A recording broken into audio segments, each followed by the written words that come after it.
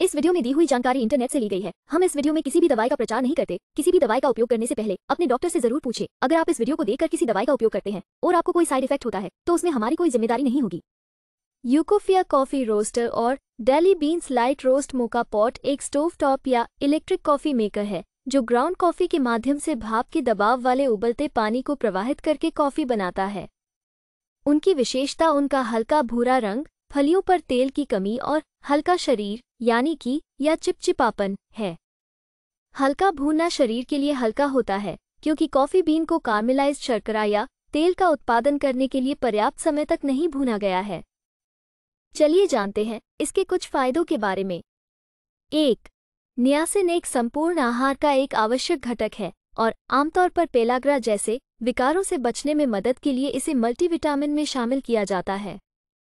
दो, इस रोस्ट शैली में उच्च रोस्ट स्तर होता है, जिसके परिणामस्वरूप कॉफ़ी बीन्स में भुने हुए स्वाद होते हैं, और अन्य हल्के रोस्ट लोकप्रिय प्रकार की भुनी हुई कॉफ़ी के विपरीत, फ्रेंच रोस्ट कॉफ़ी में अम्लीय स्वाद नहीं होता है।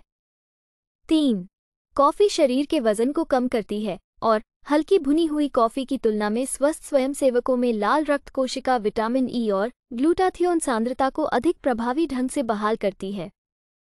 चार डार्क रोस्टेड कॉफ़ी में मौजूद एंटीऑक्सीडेंट कोशिका क्षति से लड़ सकते हैं और कैंसर और हृदय रोग सहित महत्वपूर्ण स्वास्थ्य समस्याओं के जोखिम को कम कर सकते हैं।